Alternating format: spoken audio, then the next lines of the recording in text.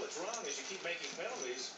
Chris Myers with a holding penalty put the uh, Texans back in a negative situation. Seven of them costing the Texans 42 yards. Donnie Jones punting.